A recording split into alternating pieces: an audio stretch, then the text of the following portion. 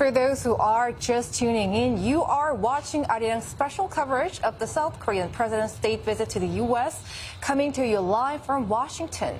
And for further discussion on today's Yoon Biden summit, let's turn back to Mr. Mark Tokola, Vice President of the Korea Economic Institute of America, and our Oh Soo-young, our presidential office correspondent. So, Soo-young, let's talk about what to expect on North Korea front because a Seoul's top office says a Washington declaration will be adopted and today containing stronger extended deterrence measures. So what's worth noticing would be the allies, uh, nuclear consultative groups. What can you tell us more?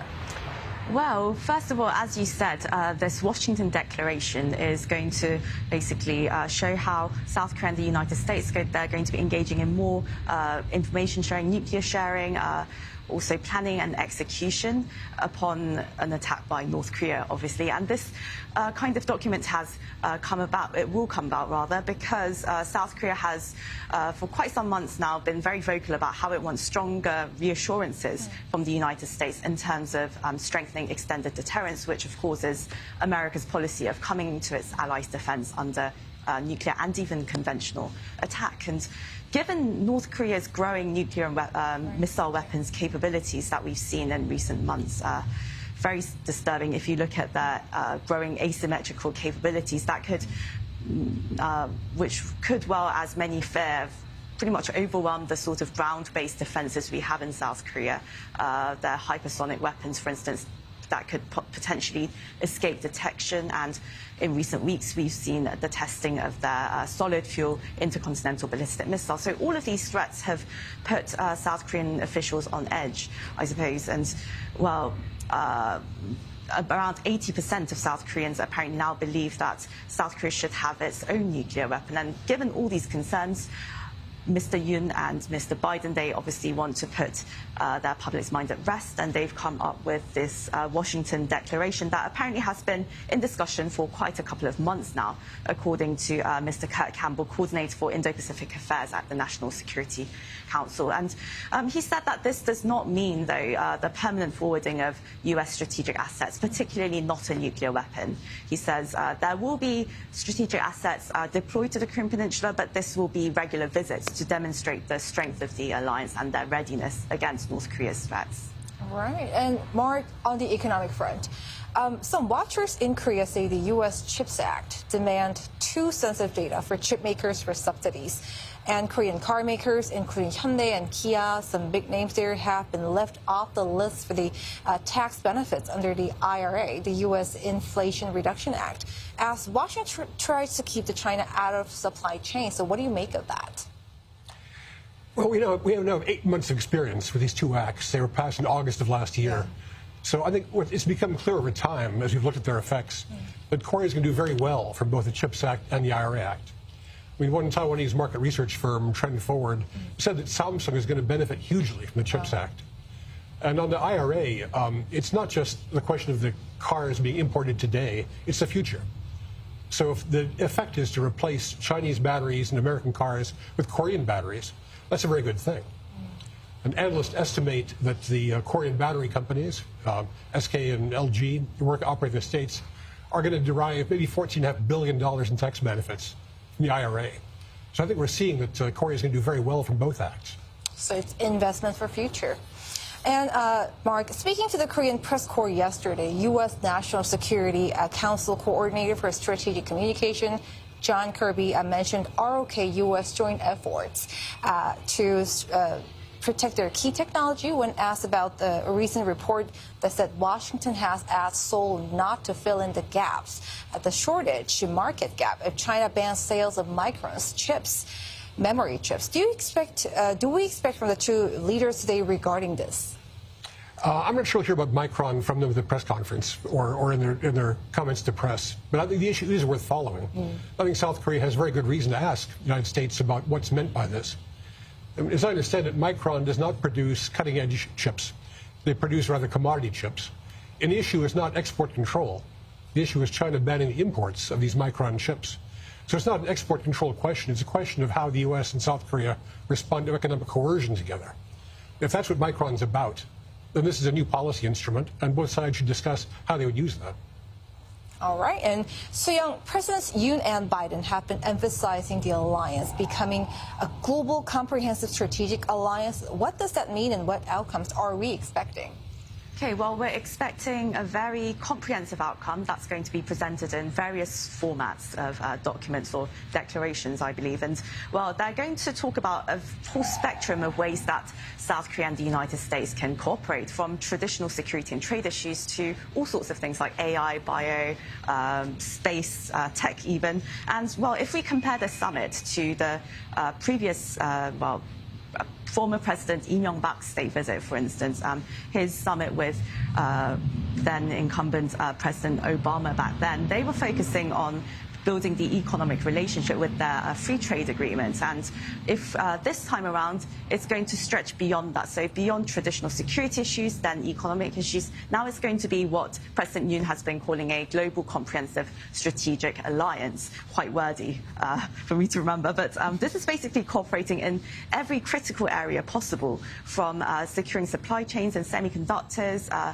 biotech, and other strategic areas that's going to be essential for the two countries to uh, build up their capabilities and for the uh, future of their economic security. Now, that's the keyword for both countries uh, this year around. And they're going to also be talking about uh, cyber security as well, as both countries join together to really tackle the various uh, new emerging threats on the uh, cyber front in the virtual space. Uh, so this could include um, information warfare and also cyber crimes that we see by North Korea, of course. Um, so, well, this is no longer just going to be about the military alliance, as I said again, and also the just uh, simple trade volume relate kind of issues, but we're going to see, uh, yeah, a very, very comprehensive uh, kind of joint statement coming out today.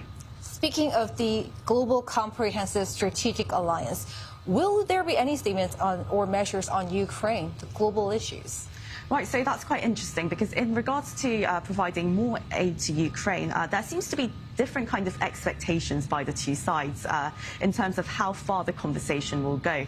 Because Seoul's top office uh, has been saying that it's not being prepared as an official agenda. They've been maintaining that position for a number of uh, days, weeks rather. But uh, the United States, the White House, even said yesterday that uh, um, it will certainly be discussed, although they do respect individual countries' uh, sovereign decisions on how much aid that they're uh, providing to Ukraine or what kind of form, um, what form of aid they are uh, offering to Ukraine.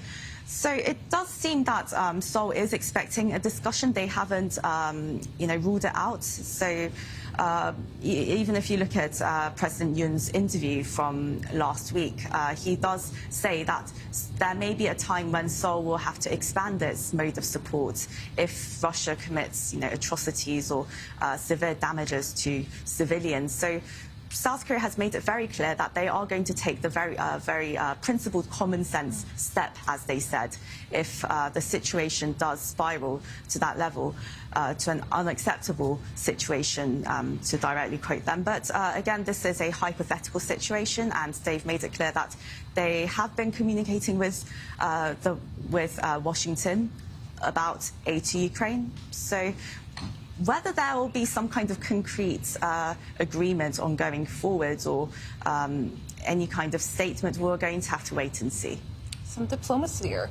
And Mark, turning to you, uh, having met President Yoon, Netflix, the CEO has uh, rolled out his plan to invest two and a half billion uh, dollars in Korean TV series and shows. So what are the prospects uh, for cooperation in the culture sector between the two countries? Well, they're very important. I mean, we talk about semiconductors and batteries and autos, but the South Korean entertainment industry is huge and influential. It's a great example of soft power. So Netflix investment is, is one of the headline issues this, from the summit. And it, it shows that uh, the Korean entertainment industry has been developing for decades. Netflix is not gambling. They know that it's a proven track record for Korea.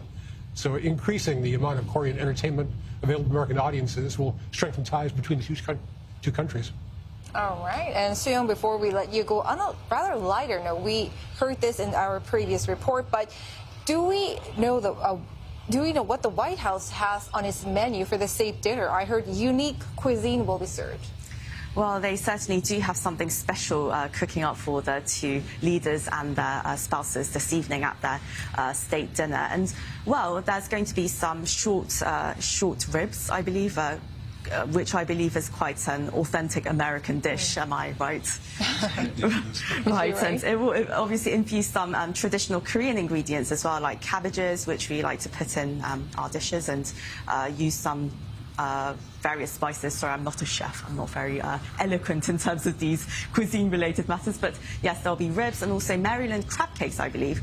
That's, uh, which just sounds succulent and very delicious. And apparently, President Biden's favourite is going to be the dessert, and that's going to be um, a banana split uh, with some kind of lemon bar. Um, again, I'm not doing a very good job of making it sound very doing a good appealing. job, I- I Um, sorry to the chef, of course, but it sounds absolutely delicious. I think it would be my favourite too. There's going to be some ginger snaps and apparently a bit of doenjang, Korean uh, Yeah. bean paste, um, Yeah. soybean paste, right? So I don't know how that combination is going to go. I mean, what do you think, Mr. Tokola? Do you think it's? I think the menu is fantastic. And for me, it's a metaphor for the entire visit because it's not Korean dishes and oh. American dishes side by side. It's fusion. Oh, so it shows when you blend American and Korean content, exciting things happen. It's not just a cuisine, it has a meaning. That's All right, Vice President Tokola and Soo-young, our presidential office correspondent, thank you for your time. Thank you. Thanks so much. Thank you.